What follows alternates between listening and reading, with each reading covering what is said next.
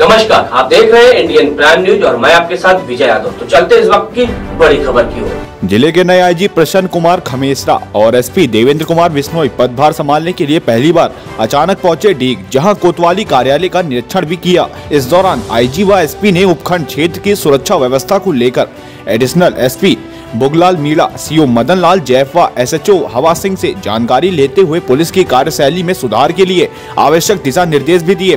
IG प्रसन्न कुमार खमेसरा ने Deeg circle के औचक निरीक्षण के दौरान पत्रकार को बताया कि पदभार संभालने के बाद क्षेत्र की जानकारी के उद्देश्य से अधिकारियों से चर्चा की गई है।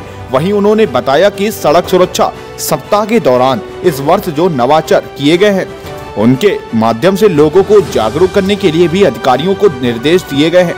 आईजी खमेसरा ने कहा कि क्षेत्र के चौकियों से जो जब्ता हटाया गया था, वह दूसरे थाने से जब्त पुनः लगाया जाएगा।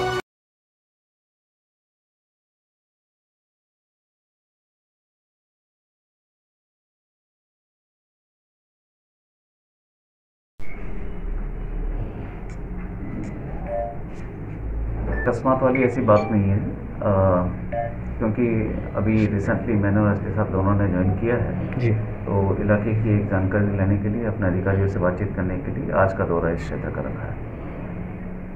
आ, क्योंकि इस वर्ष जो सड़क सुरक्षा सप्ताह है इसमें कुछ चेंजेस आए हैं तो उस हिसाब से इनको एस एच को सी को गाइड किया गया नवाचार के दौरान जी।